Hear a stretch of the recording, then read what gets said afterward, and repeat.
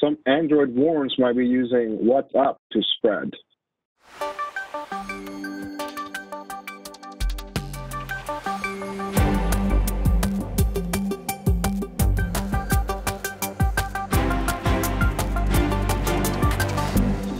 Hey, Jonathan, I heard a, a story about a malware affecting uh, Android and uh, possibly the WhatsApp.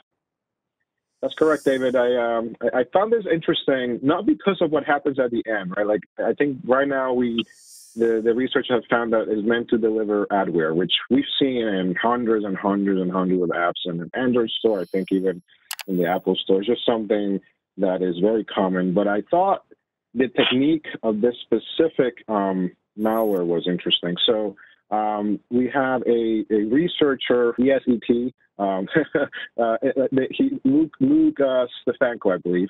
He found uh, this malware that appears to be using WhatsApp to become wormable. So the, what, what the malware itself does is that um, um, it uses the notifications within Android uh, in a feature in Android called Direct uh, Reply, or, I believe is what it's called, to reply to any contact that contacts you. So, like if you are infected and um, I send you a message, it automatically sees the notification and replies to me, the person that has is that just is saying hello to you, with a link to then install the malware uh, myself. Um, and what was interesting about about this is that if you know it, if, if you have a contact list of hundred people, right, and let's say the only five percent get you know fall for it, that is that could spread very quickly. I mean, WhatsApp is very popular, right? And and and not just in the U.S. It's Latin America, India, right, Europe. Like this is so uh, a technique like this that is using built-in Android features to then just reply with a malware untested URL uh, could cause a lot of problems. Now, it's really it's really up to the users to really get infected with this uh, because the what you actually end up installing is an APK, right? So the only way for you to even get infected in the first place or to fall for it would be to technically sideload it, right? To to enable uh, the to, to allow your phone to install unknown applications uh, from uh, you know external sources, right? Not the Google Play Store.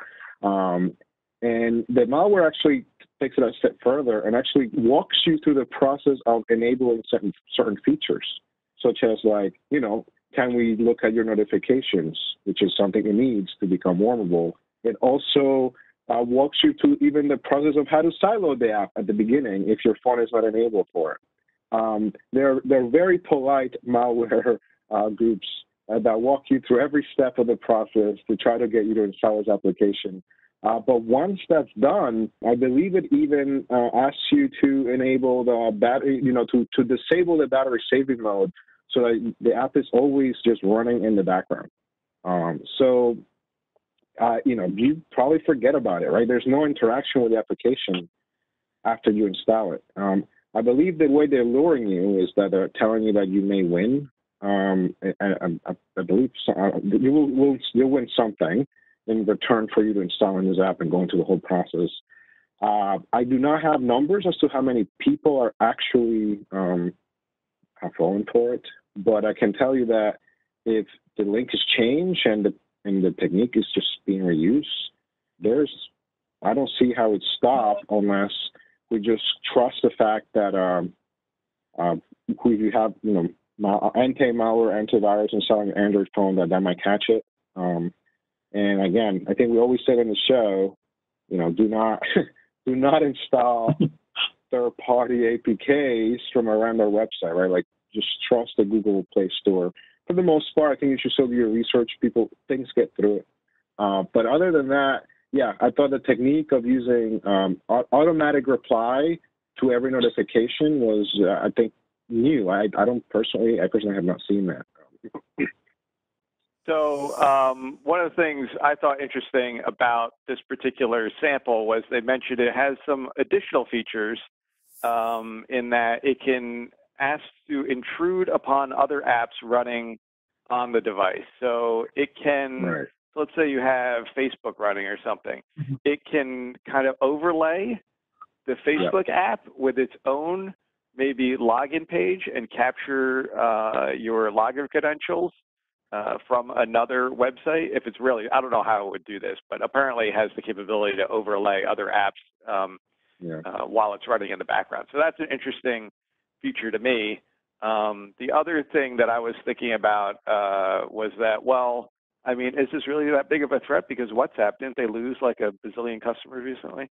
I know I'm just kind of being silly, but they did. Uh, they did just update their privacy policy, and they had a big decline in their user base. Hmm. Um, but I'm sure that's temporary uh, while people are all adjusting. So. Well, I, I don't know from the from what I can tell, the features that are being used are not exclusive to WhatsApp. So, like the automatic reply and the notification, uh, you know, uh, viewing, I think that could apply to anything. So, right. um, uh, including just like your regular Facebook, or you know, if you if you did move to Signal, which you should, um, then uh, then yeah, I mean, there's nothing stopping you except for just being careful at this point. you know, like you say, if it's just WhatsApp. But the problem is, you know, just getting normal users to understand that, which is right, all the problem we always have, right?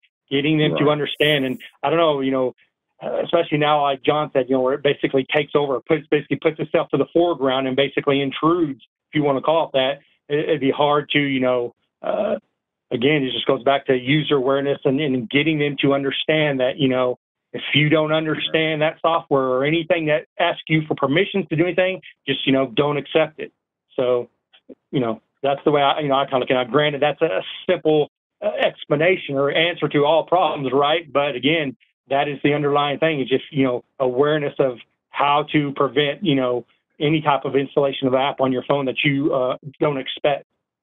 Yeah, I agree. I mean, right. it, it's it's very a very common pattern. I, you know, I, I don't I see it beyond just you know the hmm. the texting messaging apps like you know phishing usually a lot of the stuff requires you to take extra steps right to enable a macro to down to in, to download a zip and install the exe that's in it right? Like there are extra steps that people end up taking every time.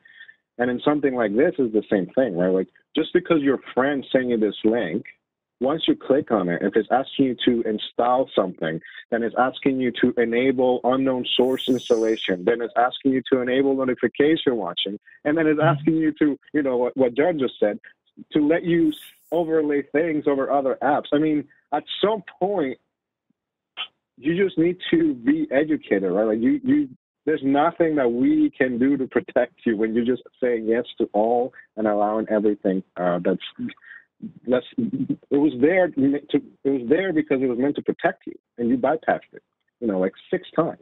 You know just again going back to what you said about um, you know uh, maybe having an endpoint security on the device or a mobile security but again that goes back to you know again someone willing to pay for it. Not that that's a bad thing because you know a lot of people should or everyone should have that but then again understanding how to use that or or get that onto their device. So you know, and you know, obviously updates to that particular endpoint security to recognize that. So even if you do have endpoint security on the phone, um, are the updates going to be updated to let that be recognized and, and stopped or uh, prevented?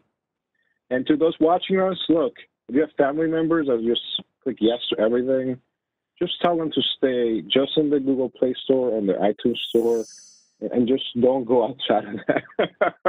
That's yeah. one one small tip that is easy to explain. Um, a lot of this stuff just requires you to take one step further and, and not, you know, Google, once they find something is bad, as far as I understand, they'll remove it remotely. They will get it off your phone. So, um, you know, that, that's a protection a third party install doesn't have. So just be careful and educate those around you.